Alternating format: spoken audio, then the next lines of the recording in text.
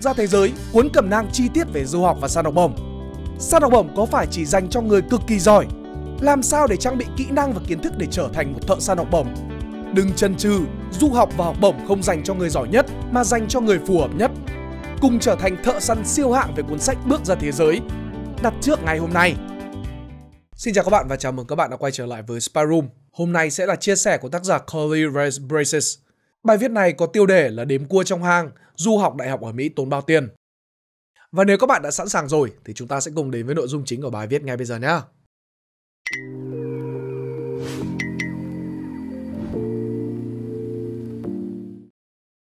Bài viết này hoàn toàn nghiêm túc. Mình xin tự thú, lý do mà mình chưa bao giờ nghĩ đến chuyện đi du học Mỹ khi còn cấp 3 và đại học, vì mình nghĩ không bao giờ nhà mình có thể có tiền để trung cấp. Như vậy là việc đó bị bỏ ra ngoài vòng gửi xe. Điều buồn cười là ngày xưa, mình chỉ nghiêm túc nhìn thẳng vào việc tiền nong cho đến khi có người bảo mình là mình có thể đi du học được. Hôm nay mình nhìn thấy Đại học Vin lên báo nói học phí 35.000 một năm. Vậy đi hẳn Mỹ học đại học thì tốn bao nhiêu? Chuẩn bị tinh thần. Chúng ta phải có một số giả thiết tối thiểu với nhau. Một, bạn muốn đi học đại học từ năm nhất, sau học đại học sẽ nói lúc khác. 2. Bạn muốn đi du học mà tốn ít tiền nhất và được lại nhiều nhất. 3. Bạn không rốt quá và không lười quá. 4. Việc sống được ở nước ngoài được định nghĩa là có tiền ăn cơm, có rau, có thịt chứ không phải là có tiền đi club. 5. Việc du học này là ở một trường thường ở quê, không phải là MIT hay là Harvard. 6. Bạn không ngại đi cày khi đi học ở trường đại học. 7. Và đây là điều quan trọng nhất, bạn là người lạc quan và luôn luôn trông đợi vào ngày mình sẽ ra trường, vì những gì mình vẽ ra dưới đây là hoàn cảnh lạc quan nhất. Vậy thì chúng ta có thể bắt đầu. Đầu tiên, chúng ta phải bỏ ra khỏi đầu một số ý tưởng có thể nhiều người nghĩ đến nhưng mà sai. Một, Du học chỉ cho đứa cực giàu. Tiếp theo là du học chỉ cho đứa cực giỏi hoặc đã đi Mỹ thì phải đi Harvard. 3. Học bổng du học chỉ cho đứa cực nghèo. 4 học bổng du học chỉ cho đứa cực giỏi. 5. Du học chỉ dành cho đứa có bà con ở Cali. 6. Học ở nước ngoài luôn đắt hơn học ở trong nước. 7. Bạn phải nhờ trung tâm du học để họ nộp đơn cho. 8. Du học là phải chuẩn bị trước khi vào cấp 3 hoặc ở trường xịn. 9. Học bổng là phải vài tỷ như ở trên VN Express vẫn đăng. 10. Học bổng xét cho bạn dựa trên thành tích học tập của bạn ở Việt Nam. Một khi bạn bắt đầu ngấp nghé ý tưởng đi du học cho đến khi bạn cất cánh đi học, thì đúng là sẽ mất 1-2 năm. Nhưng hoàn cảnh bạn là ai làm gì thì không quan trọng lắm. Bố mẹ bạn là ai, làm những gì cũng không quan trọng lắm. Bạn học ở trường nào ra, không quan trọng lắm. Về giá Nhưng nếu bạn bắt đầu muốn nghĩ xem mình có thể đi du học được hay không với điều kiện của mình mình xin ghi ra đây chi phí của trường mà ngày trước mình theo học, theo số liệu năm 2019 và cách để dịch bảng giá này bạn là người nước ngoài nên sẽ phải trả ở ô out of state. Giá nếu bạn ở lì trong DOM, không được tí học bổng nào một năm bạn phải trả là 24.000. 4 năm là 100.000, tốt hơn ở Vin 140.000. Có cách nào rẻ hơn không? Mình hy vọng bạn sẽ không phải trả giá này. Thường thì các trường công gọi là state school khi họ nhận sẽ cho khoảng 50% học phí cho các sinh viên kha khá. Ở trong trường hợp mình dẫn ở trên, nếu bạn được 1.300 điểm SAT thì bạn sẽ được giảm khoảng 8.000 đô trên một năm học phí. Thường thì các trường có luật là bạn sẽ phải ở trong dorm năm đầu tiên. Sau cứng cáp rồi sẽ cho bạn ra ở ngoài. Giá 9.000 cho năm đầu tiên như vậy không tránh được, nhưng bạn hoàn toàn có thể ra ngoài ở trọ với giá rẻ hơn nhiều từ năm thứ hai trở đi. Các khoản phí linh tinh khác như là sách vở cho rằng khoảng 2.000 đô trên một năm. Như vậy, giá 4 năm học nếu bạn học mà không đi làm thêm tí nào.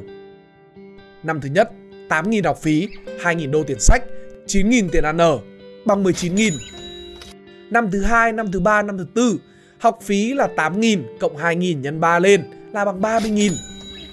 Phí ăn ở tiết kiệm 700 đô trên tháng nhân 12 tháng nhân cho 3 năm là 25.000 đô. Tổng cho bằng đại học bằng 75.000. Giá này bằng 2 năm ở Vin, không rõ là có bao ăn ở không. Tối ưu hóa các khoản chi. Bạn không có 75.000, có cách nào để giảm con số này xuống không? Đi làm ở trong năm. Thường các trường đại học ở Mỹ cho phép sinh viên quốc tế đi làm thêm trong trường một cách hợp pháp. Nếu bạn chịu khó đi cày, bạn có thể nhận được lương tối thiểu.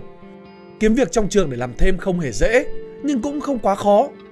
Nếu bạn cày chăm ở trường, bạn sẽ làm được 20 giờ một tuần. Mỗi giờ bạn sẽ được trả khoảng 8,60 đô la Mỹ. Trong 9 tháng học, mỗi tháng bạn thu lại 20 nhân với cả 80,6 nhân 4 bằng 688 đô la Mỹ. Số tiền này bằng với số tiền bạn phải trả ăn ở một tháng. Như vậy, nếu đi cày, lật bánh burger, rán trứng, pha cà phê, làm tech support, bảo vệ, vân vân ở trường thì bạn sẽ tự trả được phí ăn ở của mình. Như vậy, chi phí mới Năm thứ nhất, 8.000 đô học phí, 2.000 đô sách, 9.000 đô ăn ở bằng 19.000. Năm 2, 3, 4, học phí là 8.000 cộng 2.000 nhân 3 bằng 30.000. Phí ăn ở tiết kiệm? Không. Tổng 50.000. Bạn vẫn không có 50.000 á? Đi làm hè? Đi làm hè có muôn hình vạn trạng. Giả thiết bạn sẽ phải đi cày vào mùa hè thay vì về Việt Nam chơi hay là thực tập không công. Mình phản đối việc thực tập không công. Tìm việc làm hè không dễ. Rất có thể bạn sẽ không có việc làm hè. Nhưng nếu bạn tạo dựng được niềm tin về công việc ở trong kỳ và chịu khó thăm hỏi các giáo sư và apply các kỳ intern ở các trường khác, việc có việc làm hè không phải là không tưởng. Giả sử bạn có thể làm việc trong trường, hè bạn được đi làm 39 giờ một tuần. Nếu bạn vẫn làm việc ở trường với mức lương tối thiểu, bạn sẽ được 1.500 đô. Nếu bạn đi làm ở trường mà làm việc tốt, được ưu ái, có thể bạn sẽ được trả hơn. Trong 3 tháng hè, bạn có thể cày được tới 4.500 đô. Số tiền này đủ để trả một kỳ học phí tiếp theo. Hè bạn có thể ở rẻ hơn, cho rằng ăn ở của bạn hết khoảng 1.800 trong 3 tháng. Bạn để dành được 2.700. Bạn được hoàn thuế sau đó nên tính tròn là 3.000. Nếu bạn rất may mắn và nhận được một công việc ở công ty khủng như là Google, bạn sẽ có lương sau khi họ bao ăn ở ít nhất là 6.000 đô một tháng.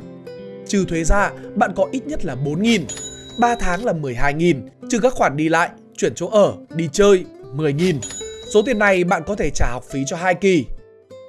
Nếu bạn là quái vật, rất có thể bạn sẽ được nhận internship từ năm đầu tiên. Nhưng thường sinh viên lên năm 3, năm 4 thì dễ nhận được các việc tốt hơn. Vậy nếu bạn là sinh viên tốt, cho rằng bạn có con đường làm hè lật burger 2 năm đầu và nổ lô, vào được Google ở năm gần cuối, bạn sẽ có được 3.000 nhân 2 cộng với 10.000 bằng 16.000. Như vậy, giá cuối cùng của bạn là Năm thứ nhất, 8.000 học phí, 2.000 sách, 9.000 ăn ở bằng 19.000. Năm 2, 3, 4, học phí là 8.000 cộng 2.000 nhân 3 lần lên là 30.000. Phí ăn ở cộng tiền làm thêm trong năm, không. Làm hè, trừ 16. Tổng mới 33.000.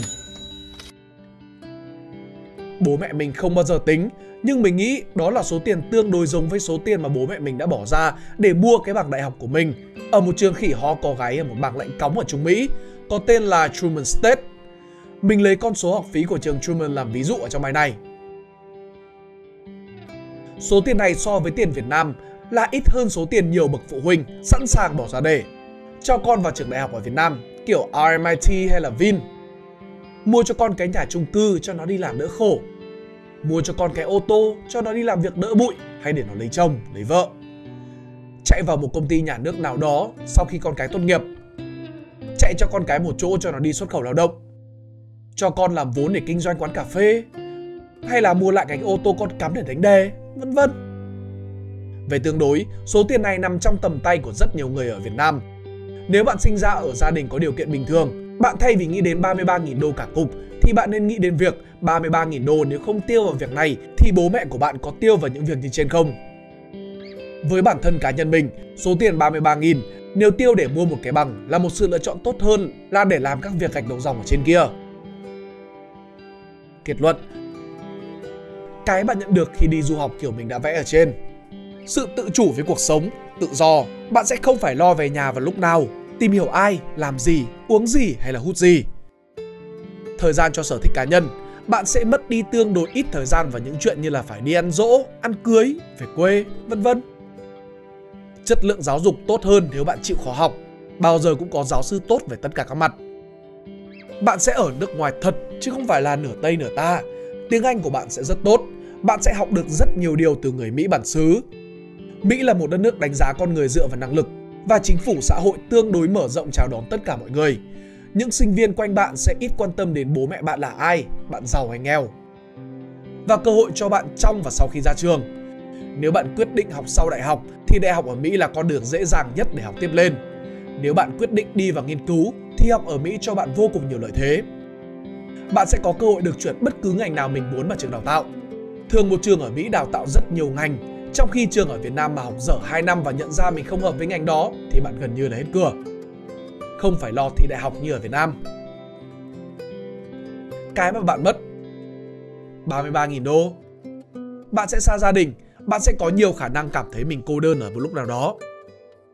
Cuộc sống sẽ vất vả, bạn sẽ thiếu thốn về mặt vật chất và tinh thần trong những năm sinh viên. Bạn sẽ phải ở một nơi không đông đúc, không náo nhiệt và không có nhiều cơ hội như các thành phố lớn ở Việt Nam. Có thể đại học Vin tốt hơn trường nhà quê ở Mỹ. Bạn sẽ không được đối xử và có các cơ hội giống như người bản xứ và thậm chí là cơ hội của bạn ở Mỹ ít hơn các cơ hội của bạn ở Việt Nam. Bạn sẽ phải mất một vài năm thụt lùi về tất cả các mặt trong cuộc sống vì bạn sẽ phải làm quen với môi trường mới. Cơ hội gặp người Việt Nam nói chung là ít hơn ở Việt Nam. Có thể mọi thứ sẽ không theo mong ước và tính toán của bạn và bạn sẽ phải ra về mà không được gì. Nếu các bạn thích video này, hãy like và share để ủng hộ chúng mình. Đừng quên bấm nút subscribe và nút chuông bên cạnh để không bỏ lỡ video nào bọn mình ra trong tương lai. Cảm ơn các bạn đã lắng nghe. Đây là Spy Room, còn mình là Pink Dot. See ya!